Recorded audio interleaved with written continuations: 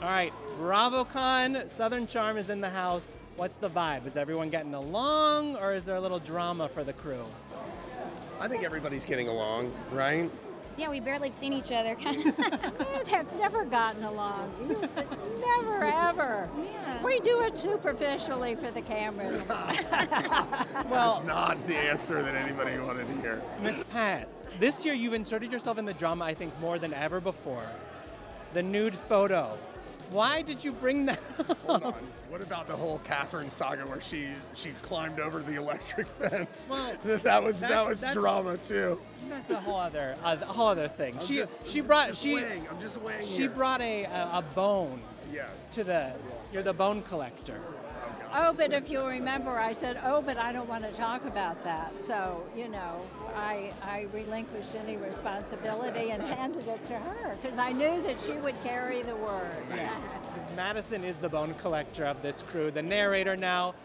This season is like, it's hitting in a different way than the past few seasons, and I think it's a real nice mix of drama, fun, and then real life moments. The moment with Hudson was so sweet, such a big reaction. What does it mean that the show captures stuff like that for you? I mean, I realized really quickly that Hudson has more fans than all of us put together. I mean, so many people have come up to me and they were like, "Where's Hudson? Is he okay?"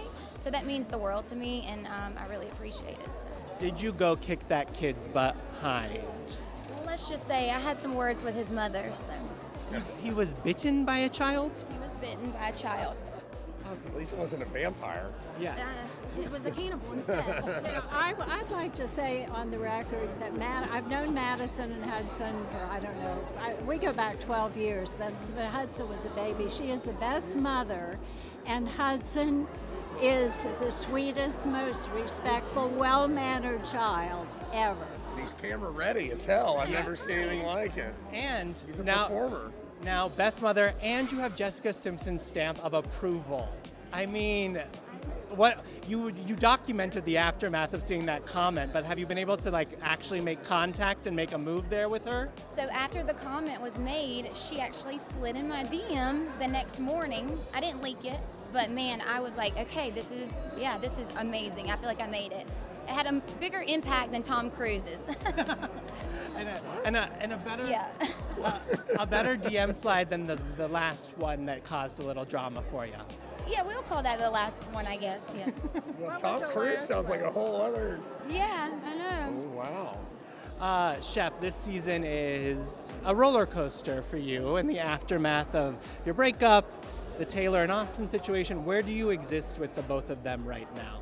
I mean, probably better than 99.9% of uh, other human beings would be with them. I mean, I just, I'm just not someone that holds on to anger, grudges, things like that. I've, I've experienced some wonderfully blissful things with Taylor. I mean, I was in love with her for two and a half years, and I'll always love her and I'll always care about her. So I'm not gonna I'm not to throw that away because someone makes a mistake. And, and the same with Austen. Like, we've had the most insane fun times at concerts, out on the town, other countries, stuff like that. I choose to preserve the good and sort of move on. Well, reunion is coming. Yeah. Pat, what would it take for you to make it to a reunion? You know, I'm sorely tempted to go this time because I still have a lot of information that I've kept back. All right, you hear that? Bravo. I'm waiting for the just the right moment. I haven't decided yet. Maybe a private jet. If a, if a private jet and a martini is waiting for and you on set, Yeah, and peaches. yeah, Yeah, yeah. yeah, yeah. Okay. What? That might do What, what are our predictions for a reunion? Who's going to walk out with the most, you know, pain? He's right over there. We can't talk. We can't say his name. It's Don't tell Austen. him. Yeah. Well, before that, we get Jamaica, yeah. Which everyone has told me is like Outrageous. outrageous. Yeah. Why does it go so off the rails? And who? And Madison, did you really make Austen poop his pants? Oh yeah. Um, you're gonna have to wait. Make him. I think No. that was an involuntary. I was like, the fact I still can make him himself is uh, pretty amazing to me. I was like, I guess I made him that nervous, and um, it's gonna be pretty good, I think. And I'm embarrassed for him, honestly. It was a good. It was fun. I mean, you know, we get to go on some trips, but this one was like We had fun. we had fun. Yeah. Yeah. Well, I mean, I'm- Madison and I you are two, you rare- two, you two are in a good spot right now, and she told me that she really like kept her fire for you during filming. So Well, yeah, I mean, we're in this rare, rarefied air where both of us are kind of in the clear right now, so we're kind of We're enjoying down, that. We're just waiting. Each Yeah. episode, we're like, Whew, we made it. Yeah. okay, so season ten, we'll see where that goes. Yes, correct. Let's There hope so. Yeah. I can't believe it's you a decade in. I know. I know. Good to see you.